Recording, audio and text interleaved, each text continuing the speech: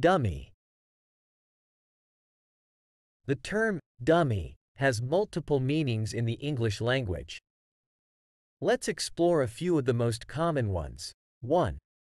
Dummy is an adjective, meaning used to describe something that is not real, but is made to look or function like the real thing.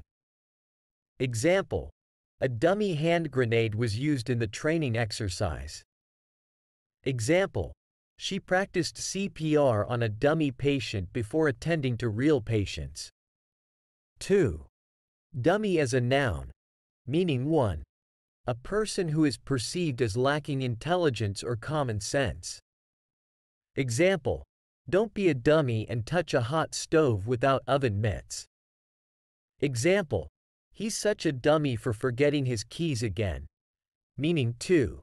An object designed to resemble a human, often used for display or practice purposes. Example The ventriloquist used a dummy to entertain the audience. Example The shop displayed a clothing collection on mannequin dummies. 3. Dummy as a verb. Meaning, to create a temporary or false version of something for testing or demonstration purposes.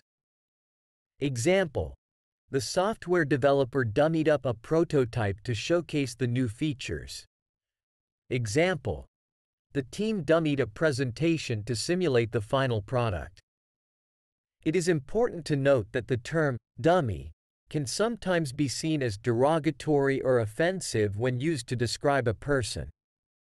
Therefore, it is best to be cautious and considerate when using this word in conversation.